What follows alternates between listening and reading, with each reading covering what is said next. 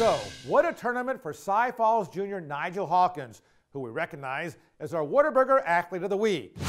Hawkins was named the tournament most valuable player, and for good reason. He averaged 19 points, 4 assists, 3 steals, and 8 rebounds a game in the Golden Eagles' 4 victories at the Insperity. Cy Falls is now 16 and 3 on the season, in big part behind the play of Nigel Hawkins, our Whataburger Athlete of the Week.